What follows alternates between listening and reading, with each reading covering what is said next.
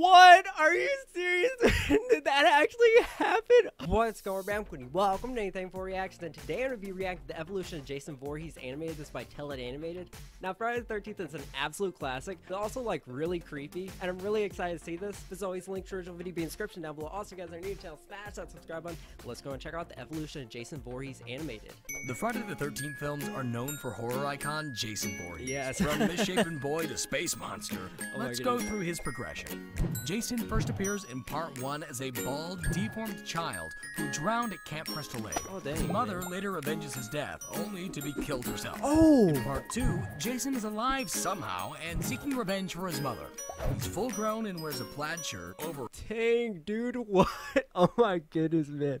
That was absolutely. Oh. a one-eyed sack. Unmasked, his head appears lumpy, Oh. patchy, long hair. Jason is bulkier in part 3 and acquires Dang, man. Oh my goodness, dude. What? Man, like, his dang. iconic hockey mask and trades the overalls for the blue hockey mask. and a Changed the way everybody looked at them. his hair for a shaven look, and oddly shares little resemblance to himself in part 2.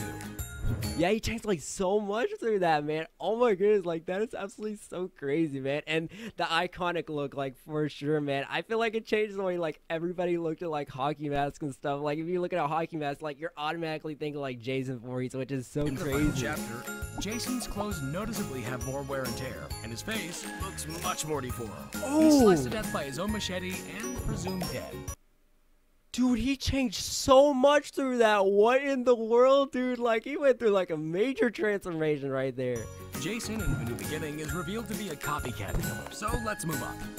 In part 6, Jason Lives, Jason is brought back to life when lightning hits his corpse. While zombified, he dons the same attire, but Wait, lightning? What?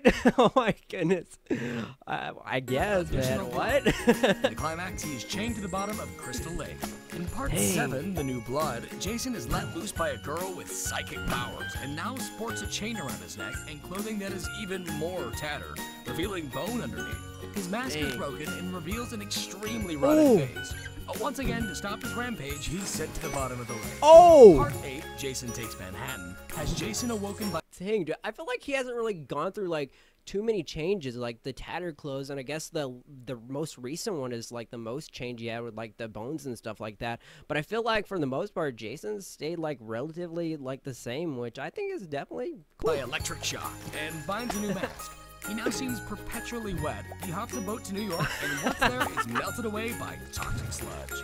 But don't worry. Oh! In Oh! Jason Goes to Hell, the final Friday, Jason is alive. Again, his mask is now embedded to his face with wisps of hair. out. Within ah. the first 10 minutes, he's blown up and presumed Oh! dead. But the film carries on as his ghost possesses other people. He eventually resurrects himself, but is soon stabbed by a magic dagger and dragged into hell. Jason is wait.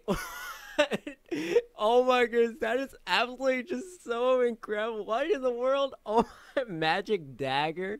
What? That is crazy. Imprisoned by Freddy Krueger for their crossover, Freddy vs. Jason. Oh, yes. His mask is no longer embedded, his skin appears leathery, and he's gained height.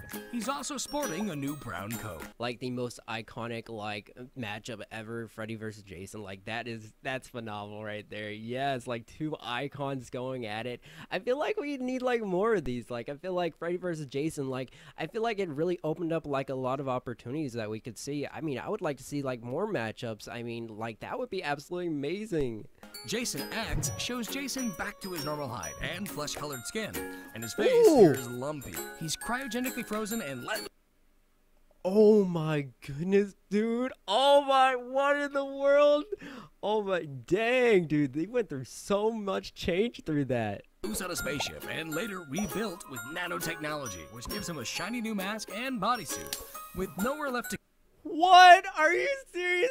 Did that actually happen? Oh my goodness, dude. What? Oh my goodness, man. go, the Jason series was rebooted with a more classic look in 2009. There we leaving go. Uber Jason in space. Thank goodness we went back to the classic look like that.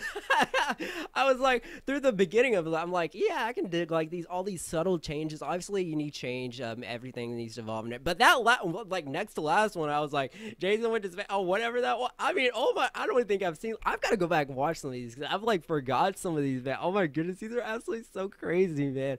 I mean, like Friday Thirteenth, an absolutely like iconic franchise. I mean, and uh, Jason really didn't go through many changes. I feel like um, a lot like Texas Chainsaw Massacre, the one I just reacted. He went through like so many changes, but I feel like Jason, for the most part, except for like the maybe the second to last one, I feel like he like remained relatively the same, which I think is absolutely so amazing. And I actually totally dug. Like this was so amazing, but it just I feel like I've forgotten like most of these, man. So I've got to go back and like refresh myself because these are actually like really interesting, man. Because I feel like I've forgotten like most of these, man. This is so amazing though. Like tell it animated these animations were absolutely just so phenomenal and just so creative and so well done, so well edited. I mean, these animations were just like depicting like the whole like franchise of Friday the 13th, which I thought was absolutely just so amazing. And these were just so incredible. And that was just absolutely just so amazing. What do you guys think about the evolution of Jason Voorhees anime? Let me know in the comment section down below. Also, click that bell to turn notifications. But as always, guys, thank you so much for watching. I really do appreciate it. If you guys did enjoy the video. As always, guys, I'll catch you in the next reaction video.